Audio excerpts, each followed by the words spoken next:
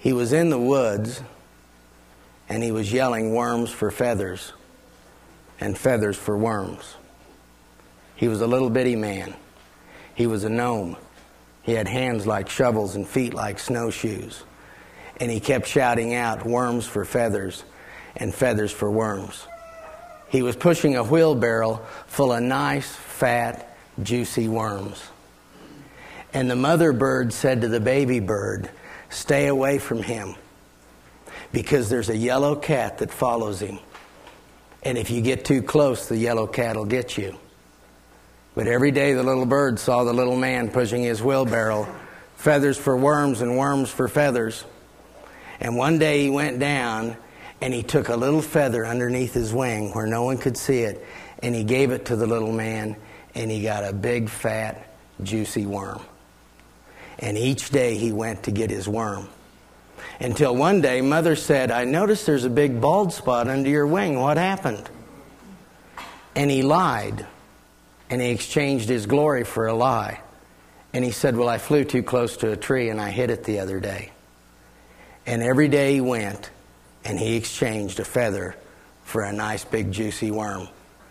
Until one day the yellow cat came and he couldn't fly. And he was eaten. Do you remember what it was like to fly the day you accepted Jesus Christ? Do you know that when I accepted Christ, I went to bed that night and woke up in the morning with my face hurting because I smiled clear through the night? I had Jesus, Jesus had me. I was working in a, uh, in a sorority, and while I was working in this sorority, which here's the thing I was working in the sorority and taking a lot of drugs. And people say, Why do you do that? And I said, Well, did you ever see a hundred women first thing in the morning, no makeup? You'd need drugs too. And there were three girls there that were really nice to me, and they were always talking to me, and they really liked me, and they were always around me. And one day they came up to me and they said, Mike, we've got a present for you. And I thought, well, that's nice. I've got three girls after me, and they all want to give me a present. They said, Can you come over to our apartment tonight? Because they'd moved out of the sorority by then. They were living in an apartment. Can you come over to our apartment and we'll give you the present? So I shot over there like a rocket when I finished doing the dishes. I got in the back, and you know what? It was an ambush because it was a Bible study and the present was a Bible. And God spoke to my heart that night that I needed Him. And do you know what? I was light as a feather the next day. I was so happy to have Christ. And He was my focus, and nothing else mattered. No one had to tell me to witness. You couldn't get me to shut up. But then people started coming to me. And do you know that good is the enemy of the best? Well, brother, have you been baptized? Hmm, no. Well, you have to be baptized. You're not even saved if you're not baptized. I'm not. No, you're not. You've got to get baptized. Well, then I better get baptized. Now, I'm not saying anything against baptism. I'm saying this good is the enemy of the best. There's a good way, a better way, an excellent way, the most excellent way, and then there's Jesus. And my emphasis soon became baptism and no longer Jesus. And I was really a cheery guy. All I did was argue with all the Christians. Do you know I wanted so much to come back to him because I just lost a feather. And then before I could get back to him, a fellow said to me, Are you memorizing Scripture? How much Scripture have you memorized? Do you know you have to hide the Word of God in your heart? If you don't have it in your heart, in your heart I don't know what's going to happen to you. I said, Well, what will happen to me? Well, you'll fall apart. So the next thing I'm memorizing Scripture, and I keep falling apart and falling apart.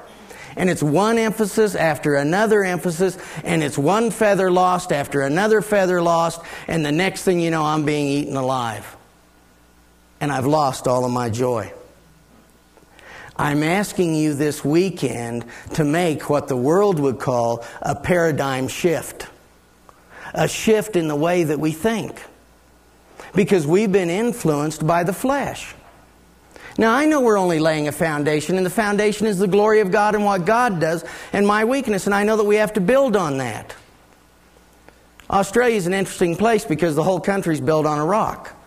And if you want to build buildings, you spend more time underground in the rock than you do above ground. Doesn't look like you're going anywhere. The guy next to you builds a lot bigger building quicker, but he doesn't have a good foundation and the thing soon crumbles. I know a man, I know this fellow. I could tell you story after story after story. But this fellow has the whole Bible memorized. Can quote the passage in front of it, of any passage you mention, and the passage behind it. And he's only got two problems he's an alcoholic and a homosexual. Does the Bible do for you what people tell you that it does? Are you one of these people that believe that Jesus died in 32 AD but nobody got saved till the printing press? that Mary had people come and see what had happened to her and she pulled back the covers and there was a book? The Word became flesh and it dwelt among us, and He walks with me. And I give up a feather for a little bit of legalism, for a little bit of glory, for a little bit of work. I only want us to go back to the beginning. And so as we look at that, it's a paradigm shift. I'm asking tonight, what is the goal of your life? If your goal is man's glory, then your emphasis is right behavior.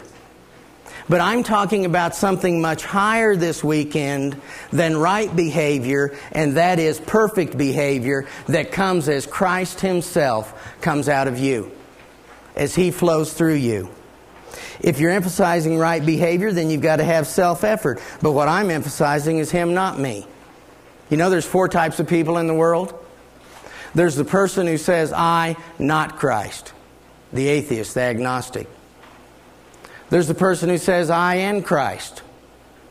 It'll be me in charge, but I'll let him take me to heaven. Then there's the person who says, Christ, but a little bit of I. I'll take care of the little things in life. I won't shift up a gear. But then there's the per- person who says, It's I, not Christ. I mean, Christ, not I. And that's what we want to become. If you live in this paradigm, then it's all emphasizing your strength. But over here, it's the conviction of weakness. Over here, it's condemnation because you never lived up to your list.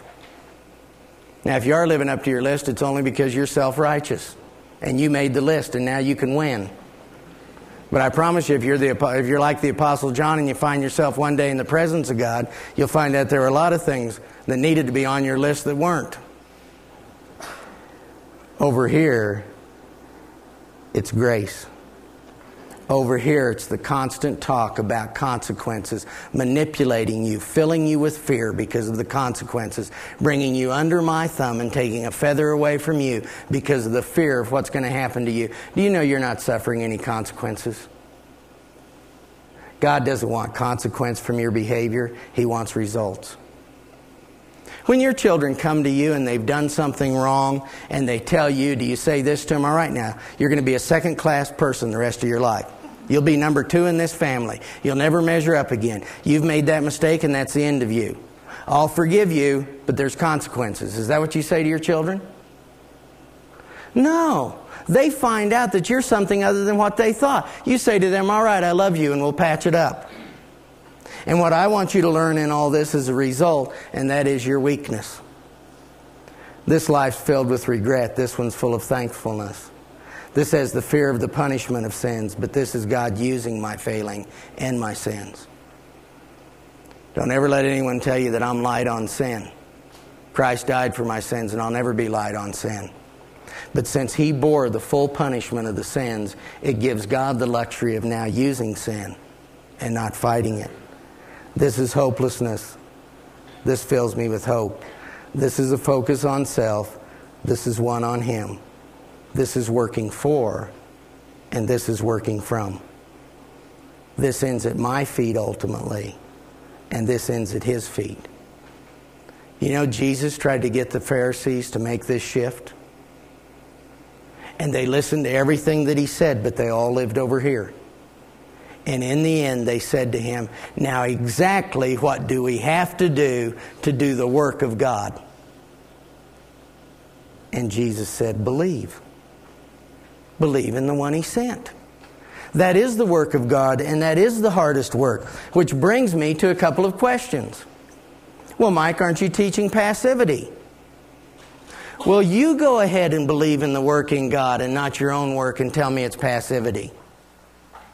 The only people that would ever tell me that I'm teaching passivity would be people who have never rested in the Lord. Because it's not passive work. So I'll just challenge you the next time you have a disagreement with your mate, go rest in the Lord and see what that does for you.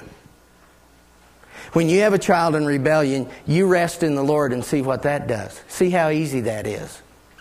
It's not passivity, it's the hardest work that there is. Do you know that Christian maturity doesn't come from a lifetime of experiences? There are Christians that are old and they've had many experiences, but they're still immature. Christian maturity comes from my response to life's experiences. And what is the one response that will accelerate my Christian growth? It's an amazing thing. You won't believe what it is. I was sharing, I always like that show, Alf. Did you ever watch that?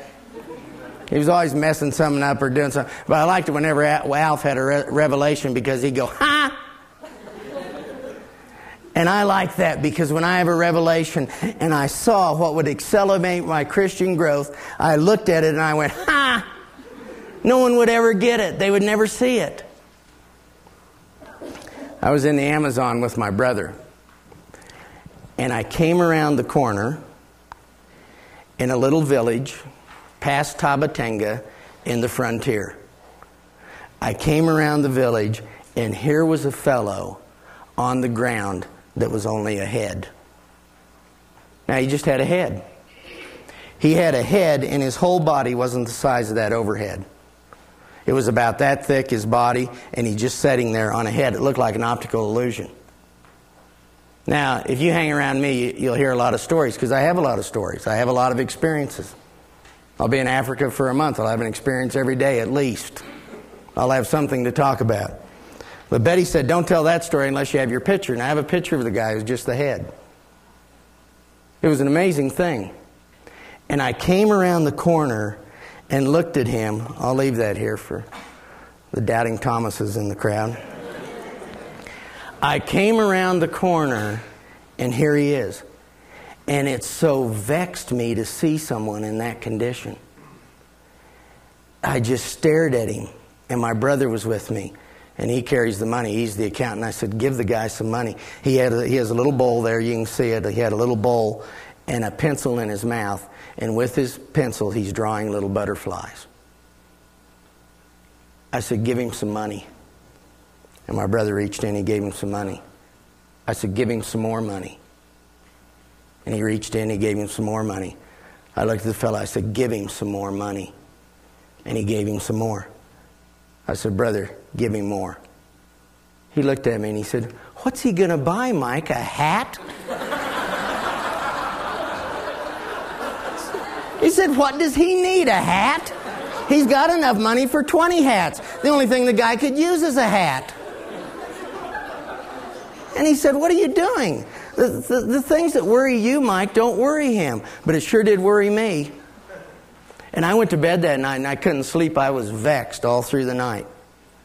And finally, I cried out to the Lord as I was just laying there because I couldn't get it out of my mind. What were you thinking about? What did you do? Why would you make a man like that? What is going through your mind? And God spoke to me and said, I won't tell you why.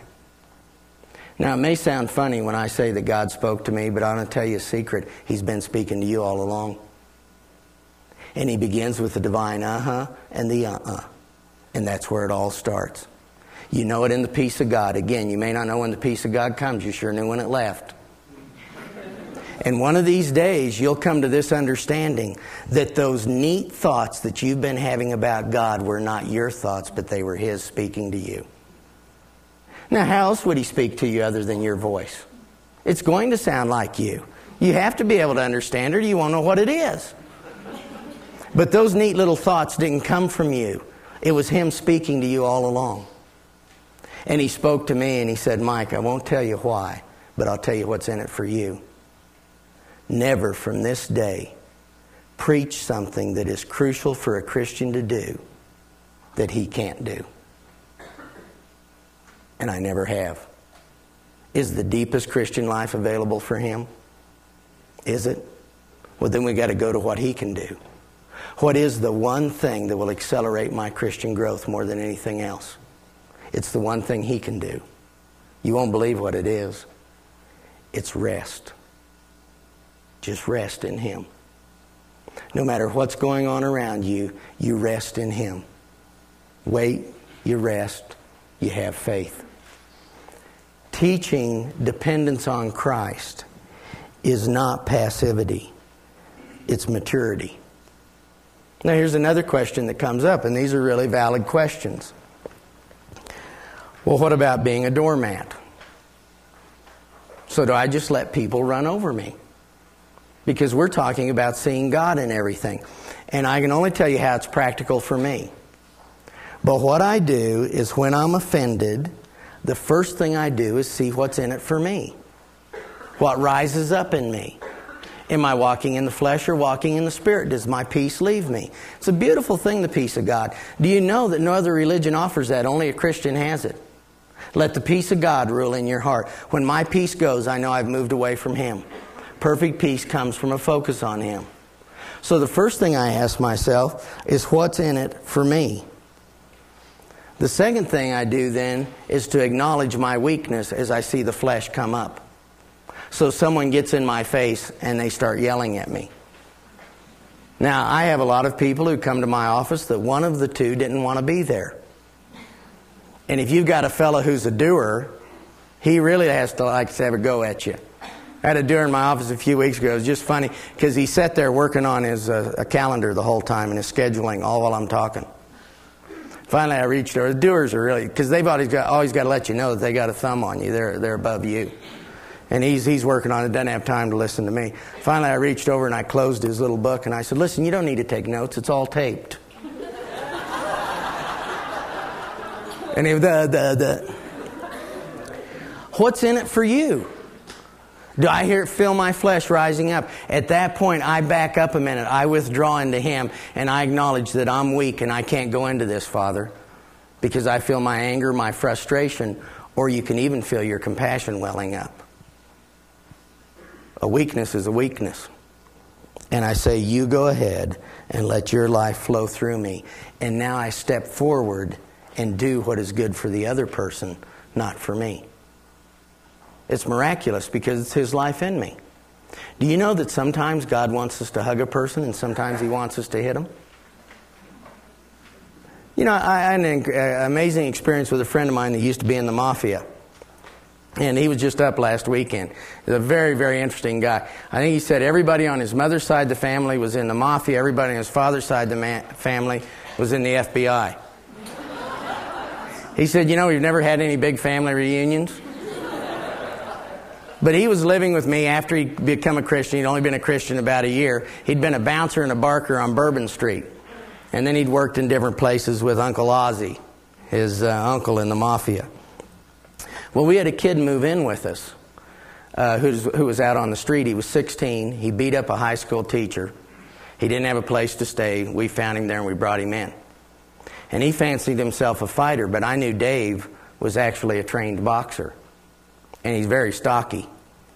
Every night we would go to get a hamburger and walk down the street or down the uh, alley, and Dave would have his arm around this kid, sharing with him, and the kid would break away and start hitting Dave in the head to get him to fight him.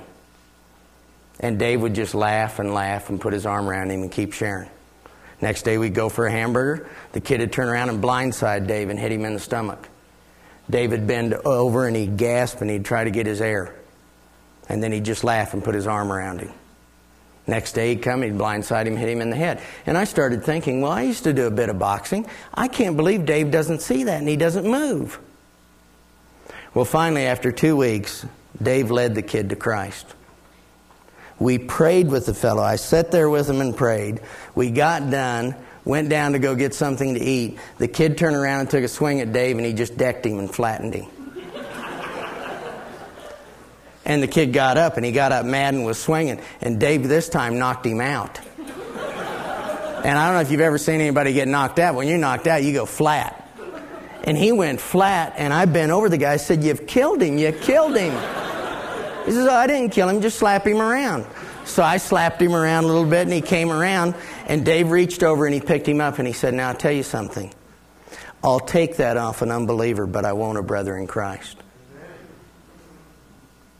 And you know, Dave told me later, he said, Do you know, Mike, love always does what's good for the other person. It was good to let him hit me, and now it's good for me to hit him. See, we spend too much time trying to find what would be the right reaction with the right person. But God has made everyone unique. And we don't know what they need. But we do have the one in us who is the way and does know what they need. And we would go a lot better if we would lean on Him in those situations and say what's needed. Do you know that when you discipline your children, you don't have to have this sentence in, concrete? When your child does something, maybe you need to hug them. Maybe you need to let it go. Maybe you need to talk to them. Maybe you need to spank them. And do you know what? You may spank them today and hug them tomorrow. But if you'll lay back and say to the Lord, I don't know what to do, I got an empty bag, would you tell me? He'll say, Oh, yeah, I'll tell you because you're the perfect one right here. The perfect one to meet the need in them. How does all of this work out when we're talking about being weak? How does it work out? Well, I can give you a couple examples of it. The first one's this when you're offended and you feel all of that stirred in you, it's only because you're offended at your own glory. You wanted glory. How does it work out? You draw back in weakness, you invite him in, and you walk across the room and you kiss your mate.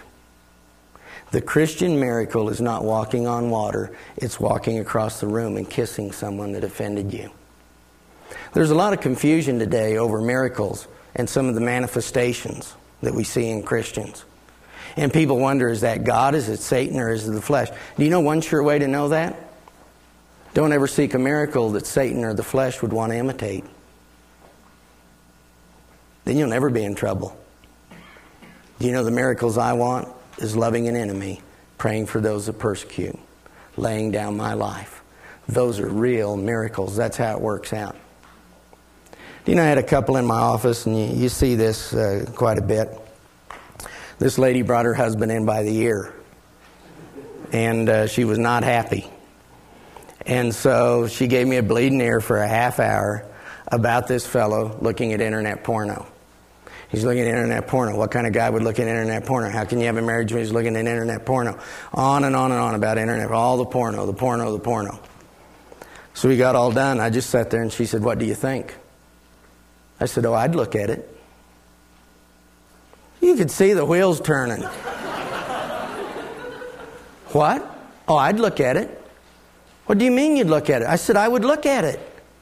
Paul said this In my flesh dwells no good thing. If he said that, am I going to say in mine dwells a good thing? And I looked at him and I said, Brother, the reason I'm not looking at porno is not because I'm stronger and more spiritual than you. The reason I'm not looking at it is because I'm weaker than you. I know men that love God a lot more than me that get caught up in that. So, do I actually think that Mike Wells can get on the internet and go to those sites and I won't look at them? That's ridiculous. In my flesh dwells no good thing. What is my flesh? It's my mind, my will, my emotions, and my body under the rule and influence of something other than Jesus Christ, and that's flesh. And my flesh never gets any better. Oh, I wish it would. Do you know it was one of the hardest things for me to come to grips with is that Mike Wells was never going to get any better? That my flesh is flesh and the, and the flesh is hostile to God and it never pleases God and I will never get better. I will only abide longer. And I'll look to you like I got better, but I'm not any better. Because as soon as I close the door to Christ's life, the one that I need moment by moment, my daily bread, I go right back into the flesh and I'm the same guy I always was. Why does that surprise you? I said, Sister, in my flesh is no good thing but in yours is a good thing. So let's have it. What's so good about you? Oh, I would never do that. Well, isn't that interesting? Every time you make that judgment and you look at another believer and you look at their behavior and you say, I would never do that, at that very moment I'm saying that I'm better than Jesus because all he ever did, he never did. But if I was you, I wouldn't do that. Well, the only reason you're ever success is because the grace of God is on you. And if you don't want to find that out for sure, make a judgment and let the grace of God lift, and you'll find out who you always were. Do you know, I, I never tell Betty I won't have an affair. I'm not going to tell her that. I know men that love God that have had affairs. I just tell her this I'm not going to get in the place where I find out. And I kept asking the woman, Well, tell me, boast. What's so good in your flesh? The flesh is flesh. Why would anything that anybody does in the flesh surprise you? Do you know, as Christians, we don't have a theology for the flesh or failure or problems? Why would we have them? Because we're not abiding. Don't sweep the cobwebs. Go to the spider. Go to the source. She said, Well, all I want to hear from him is he won't do it again. I said, There we go again. I want to find something good in his flesh. But, brother, because you think there's something good in your flesh and you think one day you'll overcome this and you're waiting for the great Christian to someday when the, when the switch flicks in you, is exactly why you're still where you're at. There is nothing good in you.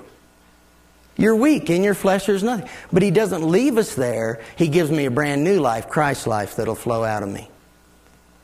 Do you see how this is a very, very practical way to live? Now, we've laid our foundation, and I'm going to be giving you a couple of breaks. Because as I said before, I don't mind speaking when babies are crying. It's you old guys snoring that really puts me off when you're trying to speak. So we've got a couple hours to go here. We finished up our foundation, getting things in order. It's the glory of God manifested through the weakness of man, and failure and problems was plan A. Your weakness is a magnet for God's power. He's in everything. Have you ever been reading a book and you're reading along and you find a big word that you don't know and you go blah, blah, blah, blah, and then you just go on reading? Do you know that you've just limited your understanding of that book, haven't you? Now, you don't know then everything that's in that book. Your understanding is limited by your vocabulary. Your vocabulary is limited by the definition you use of those words. So when someone talks about the love of God, if you've never experienced any love, you've never had any experiences of that, then what does that mean to you? Do you know you can't rise above your definition? And your definition doesn't rise above your experience? So there's words that we use in the Bible that some people get excited about and we don't understand the excitement. And I believe that Christianity lacks definition. We use terms all the time, but we don't stop to find out what the terms mean. So, what does it mean then to take up the cross and deny myself? What is self? How do we understand self? More importantly, exactly what does it mean to take up the cross and be able to deny self? I'd like to know that. So we're going to begin to look at that and make this practical and apply it to marriage. In understanding self, I want to use this diagram. It's in the back of your notebook.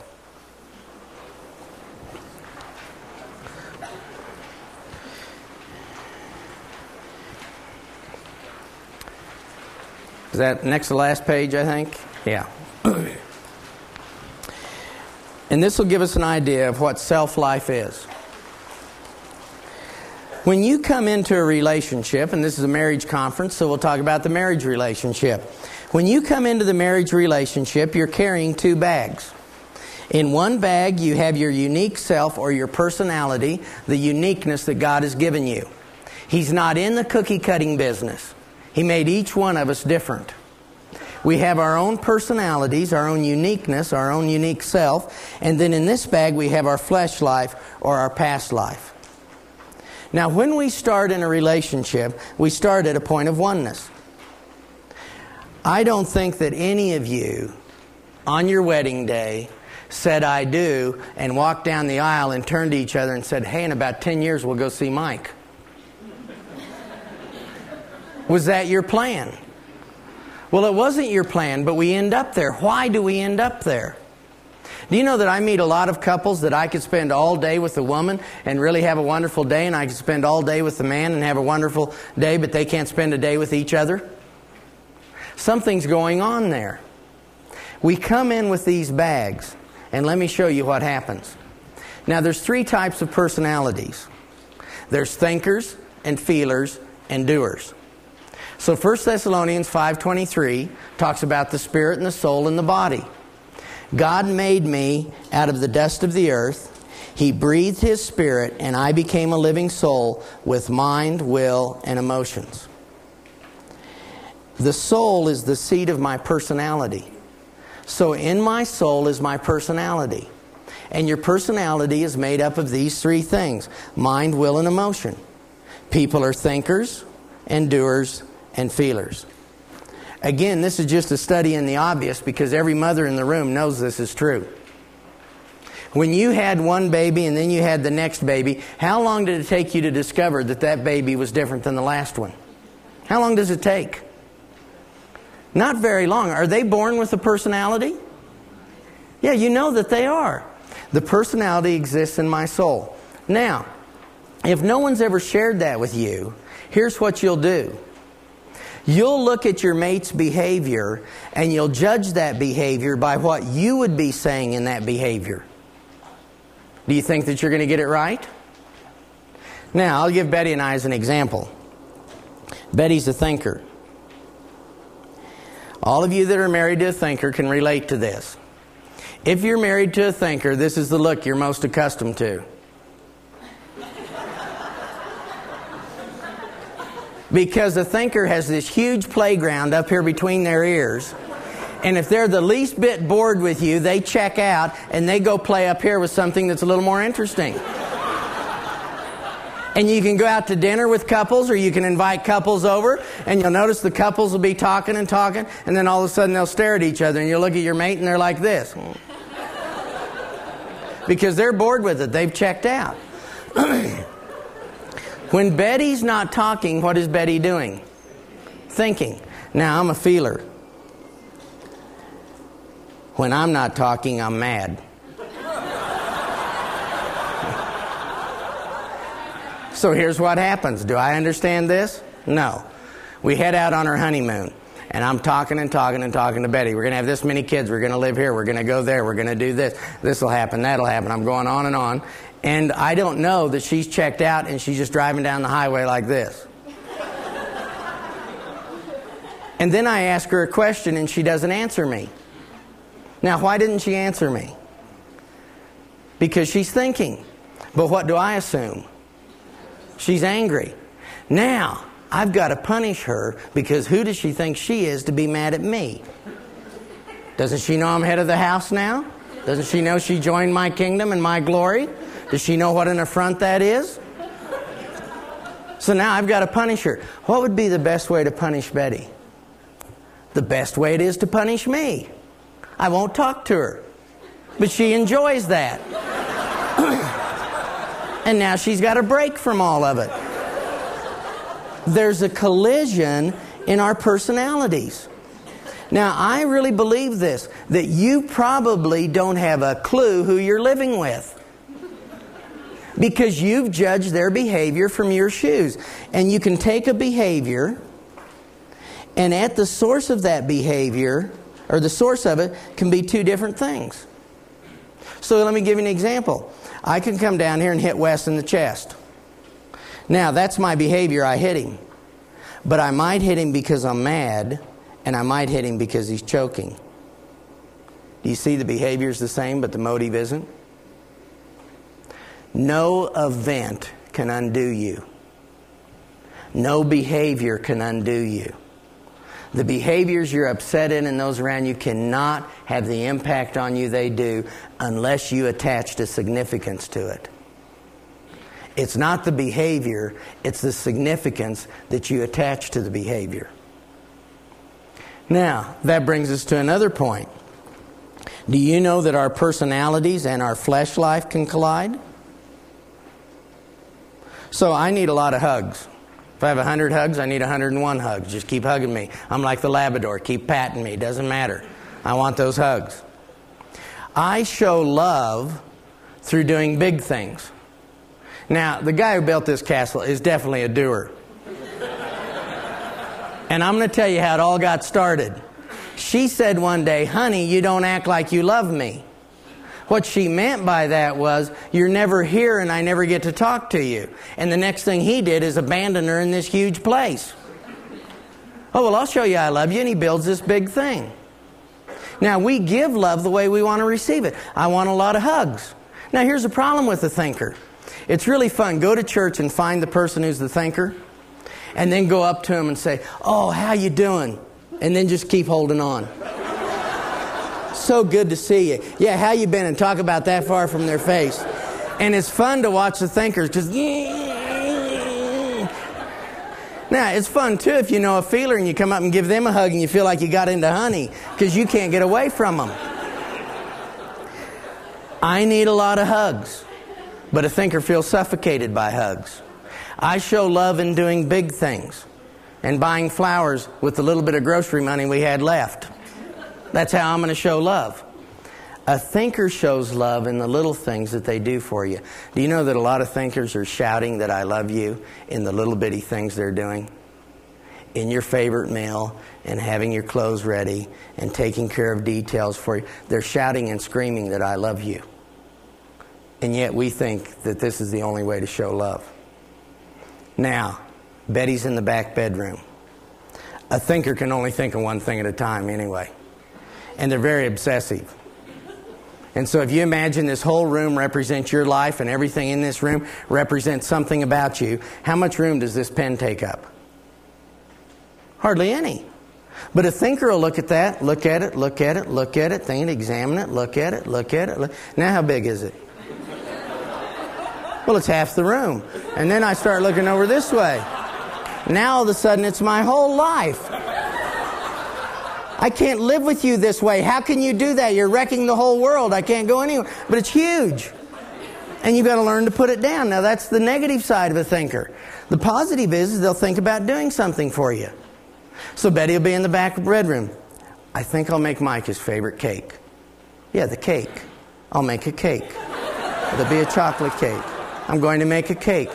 Do I have everything I need for the cake? Can I find everything I want for the cake? Is it all in there? And now all of a sudden they're in a trance like state. Leaving the back bedroom, heading to the kitchen. Must make cake, must make cake, must make cake. And they got a thinking about it. Do I have everything I need? Is it all there? Can we do it? And the funny thing about a thinker, you make waffles for 25 years. Do you still need the recipe? and so you go. And she's headed down the hall, must make cake, must make cake, must make cake. And Mike's coming in, must have hugs, must have hugs, must have hugs. And she meets me in the hallway and pushes me aside, gotta make the cake. I'm a feeler just against the wall, wiped. The woman hates my guts. Why does she hate my guts? What did I do? And then I start going through everything. Now I'm in a guilt, uh, just in a lot of guilt, and I got to go try to do something. So now I'm going to hang around her to try to get acceptance while she's trying to mix up these cookies. Well, it wrecks the whole thing. In the end of the day, here's your cake, eat it.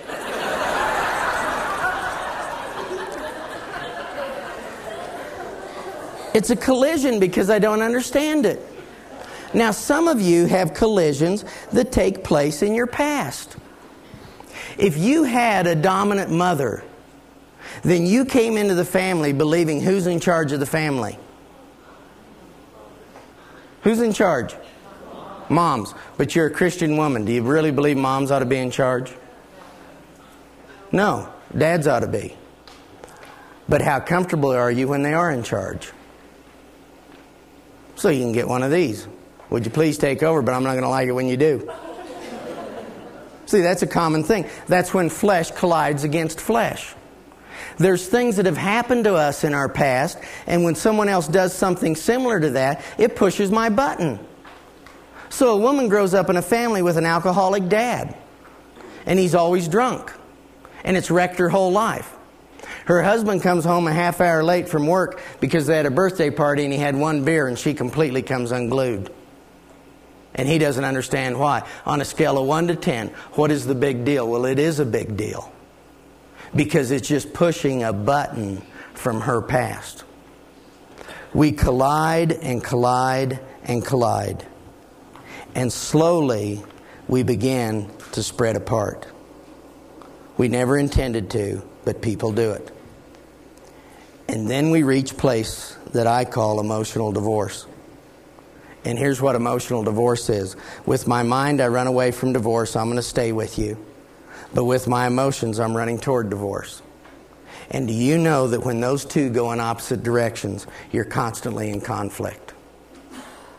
Now, when mind and will, mind and emotions don't agree, I'm in conflict. Which will I change? How I feel or how I think about you? Now, mind you, I've decided you're out to get me. You're trying to make my life miserable. You're completely self centered. You don't care about anyone but yourself. I've got all that sorted out, and I sorted it all out from me looking at your behavior through my two bags. It's crazy. But I've decided that you're a bit of a no hoper. That's how I feel.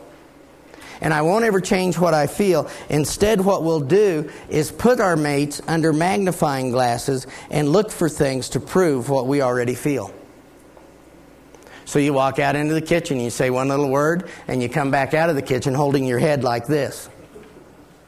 Well, I wonder why she severed my head. That wasn't that big of a deal. But all the emotions were there, all of the feelings are there. Have you ever had anybody after you, and it doesn't matter what you say, you're going to come away the loser? Now, it's a terrible thing because sometimes men have determined that they're going to leave and have an affair and they want to be angry about it, so they go and look for things that are wrong with the person. And so you can't win. It's predestined that you're going to lose in that situation. We look at a person and we judge them, but I don't think that we ever get it right. Do we? Now, here's a depressing thing. We know all about each other, don't we? I got an idea if I really knew you, I could fall in love with you again. If you really knew me, you might love me. Because I don't think that people go through their day and husbands drive along in their car and they go like this Hey, hey, that'd drive her nuts. Where's the, where's the pad? And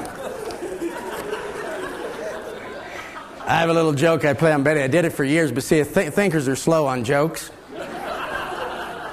and I'd ask her, "Do you have any complaints?" And then when she's, and then I'd turn on the coffee grinder and let the coffee grinder go for a while. yeah, that'd drive her nuts. That's what I'm going to do. Yeah, that's it. I'll come home late. I'll do this. I'll do that. I want to. And then at the same time, the wives are at home. Hey, hey. Yep, that's what I'll do. I want to do. I'm setting out to make you miserable. Is that true? You know, the fact is this I have made my wife miserable. But I didn't set out to make her miserable. You've made your mate miserable. Did you set out to make him miserable? Was that really the goal? But what we end up doing is walking like this in so much flesh and so many collisions that couples get to a point where they're like burn victims. Even the air passing over the body as they pass each other in the hallway irritates them. Now, I really want to make this point because it's getting things in order and it's things that'll help you. Go find the person that annoys you the most, and there's your mirror. Oh, I don't like that. Well, who gets the final word in truth? Do you get it or does he get it? Because Romans 2, 2 1 says this You who judge practice the very same things. When you come home and you've had to spend the whole day with stupid people, self centered people, ignorant people, stumbling people, arrogant people, do you know you just came face to face with yourself? How did you see that? Do you know that I see in you things that are in me? But here's the problem I like me, but I don't like me and you, so when I see me and you, I judge you. I like me, but I don't like me and you. Do you know there's some people around that have a real ministry of being a mirror, and when you're around them, you just cringe, and the reason you're cringing is you see so much of yourself in them? When we judge, we will never, ever get it right. It'll never be right. It's said that Wales is the country of castles. There's more castles in Wales than anywhere else. There's castles everywhere you turn. But to me, the most interesting castle is called Bethgallen. And it's very interesting because in the middle of the castle is a grave of Beth Gallon. And then the castle's named Beth Gallon. And the town is named Beth Gallon. Well, it doesn't sound that interesting until you find out that Beth Gallon was a dog. What did that dog do that no dog had ever done? How did that dog get his own grave and his own castle and his own city? How did he do it? And the story's there. The king had his favorite dog, Beth Gallon. They were inseparable. And every morning they would lower the drawbridge and he would call for Beth Gallon and they would go hunting together. And one day he went and the bridge was already down and there was no Beth Gallon. He hollered and hollered, but no Beth Gallon. No one knew where he was. So he went on hunting and he came back. And it was his habit that when he went hunting in the morning, the first thing he would do is go to his son's room. And he only had one son, a two year old. And one day he would be king, he was prince. So he went to the room. And when he stepped into the room, his heart sank because there was blood everywhere blood on the bed, and blood on the walls, and blood on the floor. And just then he heard a noise and there stood Beth Gallon with blood all over him. And the king knew what had happened. Beth Gallon was always jealous of the boy. And his best friend had killed his only son. He knew it. He made his judgment right there. And he took his sword and he slew Beth Gallon in the hallway. As soon as he fell to the floor dead, the king heard a sound. It was coming from the bloody bed. And he went over and he looked underneath the bed. And in the corner of the bed was his son, unhurt, underneath the bed, and a dead wolf laying beside him. Beth Gallon had killed the wolf, and the king had killed Beth Gallon. If only he'd waited. If only he'd waited five minutes to pass his judgment. If only he'd waited 10 minutes to pass his judgment, maybe he would have got it right. How many times have we slayed the people that we love because we made a false judgment and we don't have a clue what was going on? And you come home, you step in the door, your wife's upset, so you slay her. And you find out later on in the day that a good friend just died. We slay people all the time because we don't have the facts and we don't know. And I'll tell you this secret you will never, ever know. Your judgments will be wrong about the person that you live with. And all they'll ever reveal is what's going on inside you. I was in a meeting and one elder said about another elder, all he wants is position. I said, Brother, I don't know if he wants position or not, but I know when you act that way, that's what you want in a women's Bible study. One of the ladies pulled me aside. See her over there? See her? She dresses like that because she wants to attract men and sex. I said, keep talking. I don't know if she wants sex or not, but I know when you're dressed like that, what you want. If you want to know all about a person, listen to their judgments. You'll find out everything about them. A woman came to my office not long ago. Her husband's been gone for three years. She doesn't have a clue what he's about, what he's doing. And she's got a letter there.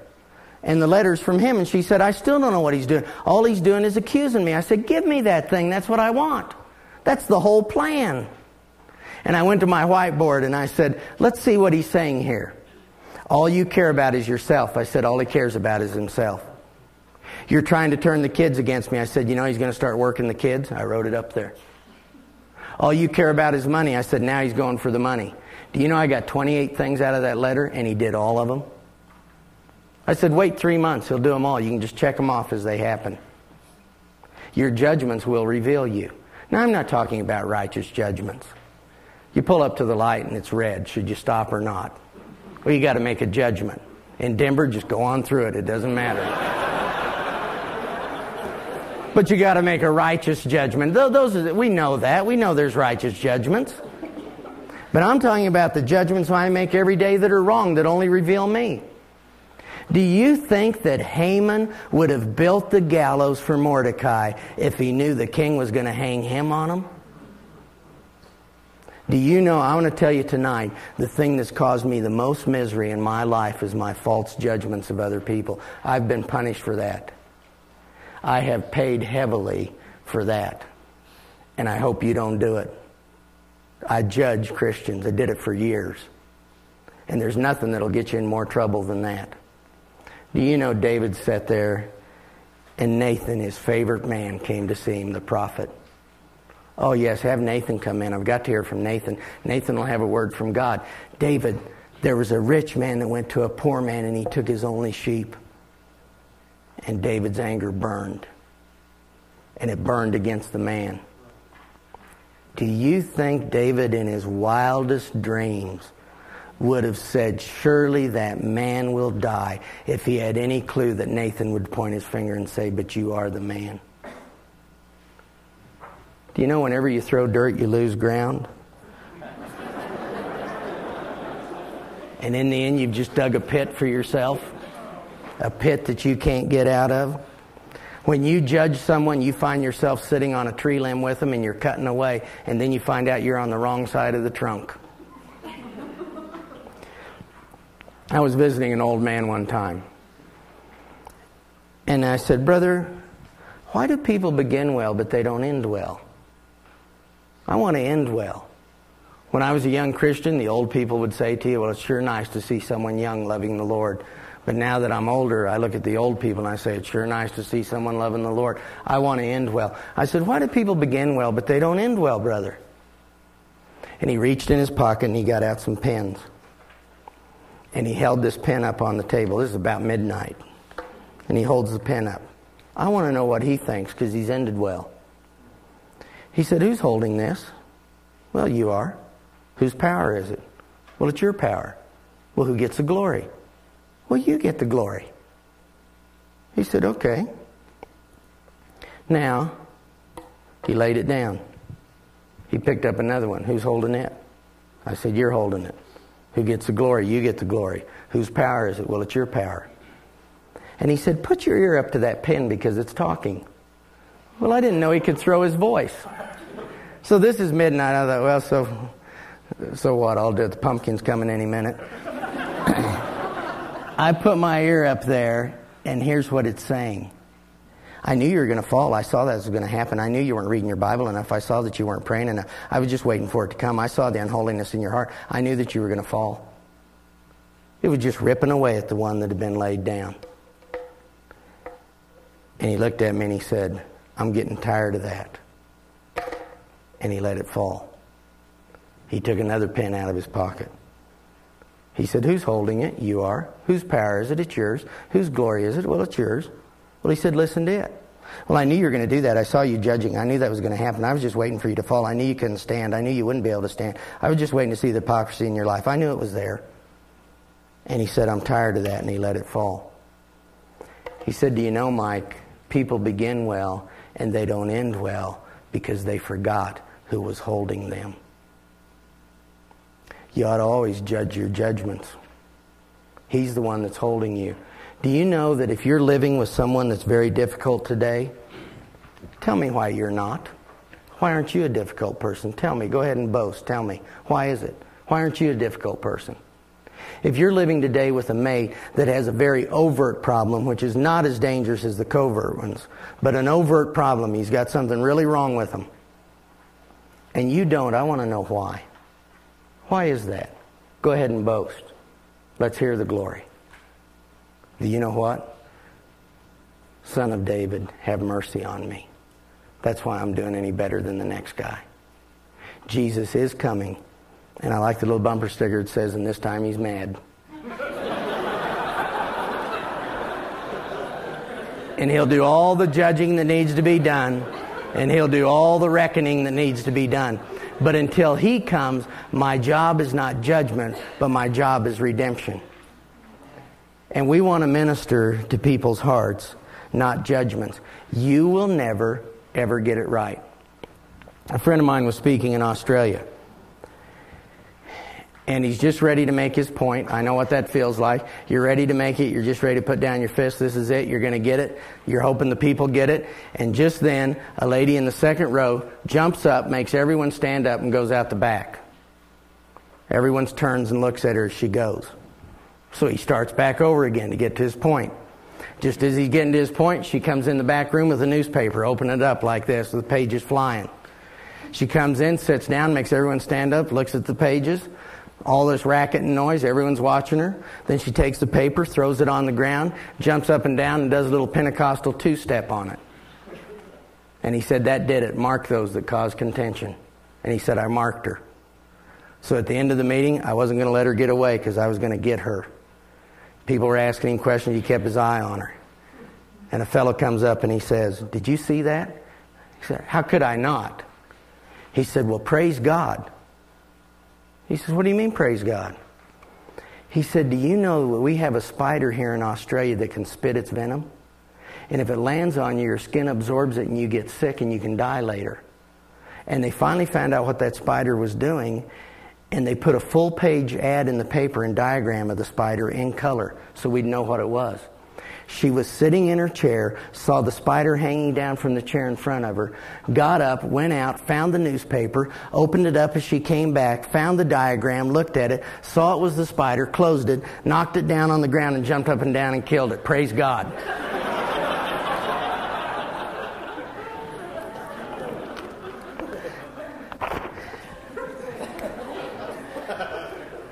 Do you get it right? Do you ever get it right? We reach a place because of these bags colliding, my self life and my unique self colliding, that we come to a place of emotional divorce. Now, when that gets big enough and the spread's great enough, that's when affairs take place. Now, here's one thing I want to be very clear about affairs. They don't wreck the marriage. They don't ruin the marriage. They don't bring the marriage to an end. Because you're one in spirit with your mate. Now, if an affair can wreck the oneness of spirit that you have, then so could rape. Does rape wreck your marriage? Does it? I'm not saying it's not difficult. Does it wreck it? No. And an affair doesn't have to either. There's so many things that are redeemable if you shift paradigms and you find out what God can do through your weaknesses and through your failures. Nobody's too far down. He can pick up anyone and begin to work with them. Now, as I come to this place of emotional divorce, we set up what I call the misery factory. And the misery factory is a whole lot of fun. Because no matter what you do, whatever you throw in this side of the factory, something happens internally and it always turns out this way. So again, once I've decided you're out to get me, you're making me miserable, you're the one that's the problem in my life. And we'll be looking at this later on. Marriage doesn't create problems, it reveals the ones that you've always had. And but now I've decided you're the problem and whatever you do, that's my mindset that you're the problem. And it goes against the foundation that we've been laying. And whatever happens, God wants to talk to me about my response first. Now, within that, we come to a place, or in that, in that dynamic, we come to a place of oppression. And many, many couples will have some point of oppression in their life. Now, here's what oppression is. Do you know the difference between a lie and deception. A lie is made up of things that are untrue, but a deception is made up of things that are true. Not everything that's true is truth. Not everything that is true is truth. So I gave this example the other day. I was in Borneo in a big Chinese church. And I said to the people in the church, I don't think much of Chinese hospitality. I think it's, I think it's terrible. I don't like it at all. You should have seen the looks on the people's faces because the Chinese pride themselves in hospitality. Then I said, Now I'm going to tell you something that's true. I've been in Pastor David's house for seven days, and Pastor David knows I love coffee, I want coffee, I need coffee, I have to have my coffee, and in seven days, Pastor David's offered me no coffee. I said, David, it's true, isn't it? You should have seen him. He just turned bright red. And he said, It's true. And the Chinese were shocked by that. They just stared at him. I said, Now here's the truth. When I came to David, I told him I brought my own coffee and I make my own coffee maker and I'll do my own and I don't ever want you to offer me coffee. What I said was true, but was it the truth? Oppression comes from true things that don't end at truth. They're all true. So a fellow comes. He's ready to leave his wife and kids. He's been obsessing on it. He's been laying in bed with his misery factory. And he's going on in this misery factory. And he's thinking of all the things that are true. And he wants me to argue with him these facts. Because how could I argue them? So I beat him to it. I said, I know all the things that are true, and I know all of the facts, and let's just go over them before we get started. Isn't it true that you can't talk to each other? Well, yeah. Isn't it true there's no communication? That's true. Isn't it true all she ever does is react? He said, It's true. That is true. She just reacts, she doesn't listen. Isn't it true that your sex life is terrible? He says, We don't even have sex. I said, See, it's true. Isn't it true that you don't like the same things? He said, That is true. And it is true that you like the lady at work. And it is true that you have more in common. And it is true that you're enjoying sex with her. It's all true. But it doesn't end at the truth. And what is the truth? I am the way and the truth and the life. And if something true doesn't end at the truth, then it isn't truth. Now, it wasn't ending at Jesus. It was a deception because what it was ending at was hopelessness. And it was all proving that. And when we get to that place, we enter a place of oppression. We're oppressed by true things. But it isn't the truth. So what we began to work on was putting Christ in the center, who is the truth. Do you know you can hear some wonderful preaching in church, but if it doesn't end at the feet of Jesus, it may be true, but it's not truth. If it ends at your feet, it is not truth. Because if I have to work for the things of God, I'll never have the things of God because I'm too weak to get the things of God. I'm not working for, I'm working from. And salvation comes from what He does for me, not what I do. As soon as we move truth into the center and Christ became His focus again, do you know what happened next? He was full of hope. And he could look at all of these issues from hope instead of proving hopelessness. The issues were still there. They were still things we needed to work through and talk about. But now we're at a place of hope because Christ is in the center. I work through this. I come to a place because of colliding, because of false judgments, of emotional divorce. And then I look for all the true things to prove it. And the enemy's more than happy to give them to me.